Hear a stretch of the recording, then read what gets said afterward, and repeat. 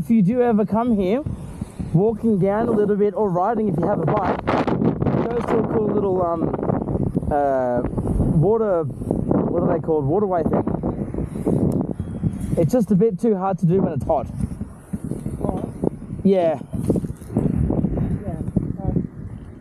My ABS turned back on again too. Michael, the, take your backpack off a sec and your, with your, your waist straps dangling everywhere or your loose. I do have a waist strap. I thought I didn't on this bike bag.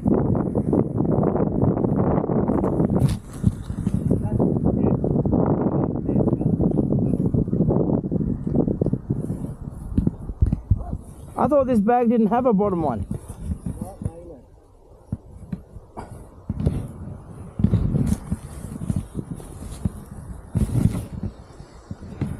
Ah, okay, I gotta turn around because I gotta fix it now.